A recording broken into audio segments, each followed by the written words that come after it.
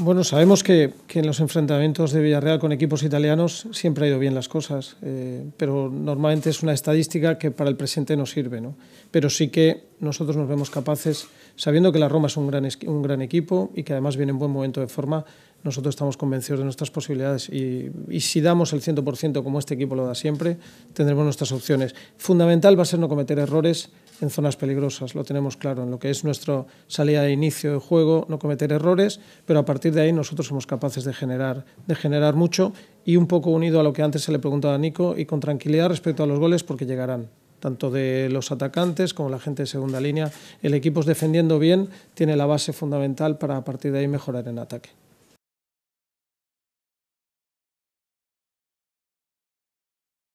No somos un equipo inferior, y no quiero que tengamos mentalidad, y cuando digo tengamos me refiero a todo el ambiente, que no tengamos mentalidad de que viene un equipo superior a nosotros porque no lo es. Es un gran equipo, evidentemente puede ganarnos y puede pasar en la eliminatoria, pero si nosotros estamos a tope y estoy convencido que lo estamos, tenemos tantas opciones como ellos.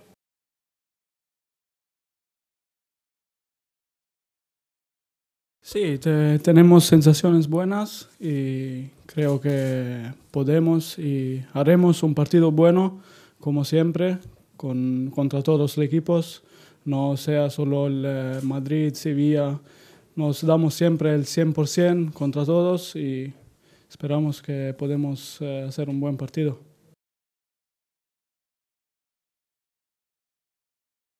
Miedo no tengo de ningún equipo, ni del Barça, ni del Real, ni de la Roma, ni de la Juve. Son equipos, son 11 contra 11 no es un uh, alieno o un, uh, contra un humano, solo Messi contra nosotros, pero ellos son uh, normales como nosotros y creo que podemos hacer un buen partido.